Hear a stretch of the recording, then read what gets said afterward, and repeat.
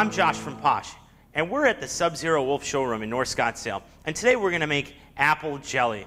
Now that may sound a little intimidating, but actually the use of a proper couple quick techniques, and you'll be right there with your friends making jelly all winter long.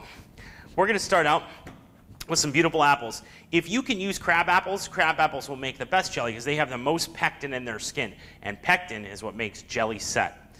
What we're going to do is we're going to take four apples, peel them, but we're going to save the skins. We're going to take the skins and the apple, peel our final apple. I like to use these handy Swiss peelers that look laterally. They're so much easier on your wrist and your hands when you're trying to slice. And we're going to take these, and I'm going to cut them into quarters. I have already cored them with my fancy little apple corer here. And we're going to chop them into about thirds once we're there.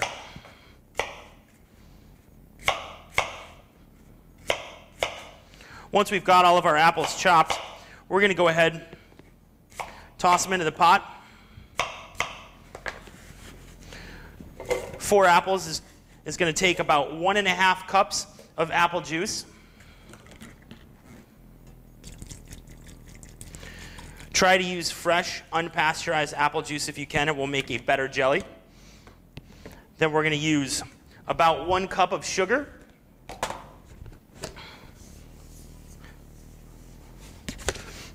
And after our one cup of sugar, we're going to use the zest of about one grapefruit for a little freshness and acidity.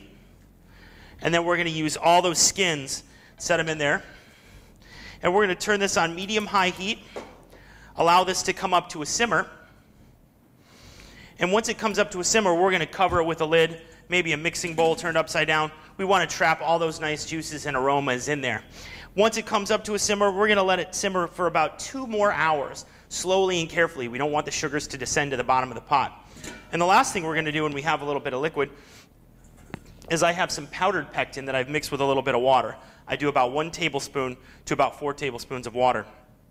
And we're going to add that to our syrup. You'll notice it'll have a very, very chunky cooked apple, watery consistency if we've done it right. So we're going to take that, stir it in there, mix everything up really good. Make sure everything's cooked down. It's almost all liquid. And we're going to take it off the heat. And the next process can be a little lengthy. We're going to take ourselves a strainer and slowly add all that apple liquid to our strainer and just push everything through real forcefully.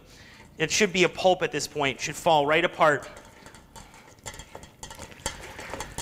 Drive all that liquid through our strainer, get everything out. If there's an extra seed or some of the skins at this point are just going to wring themselves out and put all that liquid into a bottom mixing bowl that we have here.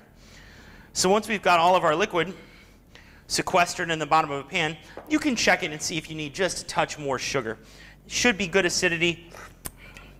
Should be nice and sweet. If you want to throw a cinnamon stick in there, you can. But some people like their apple jelly to be real pure and have a nice crisp apple flavor. So what we're going to do is now that we've got this set aside, we're going to drop it into a bowl of ice water or put it right into our refrigerator. And you want to let that set for about four to six hours.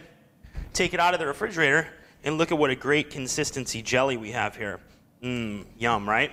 So if you want to just double up on the pleasure, you can have an apple two ways. Cut yourself an apple, dip it into your apple jelly,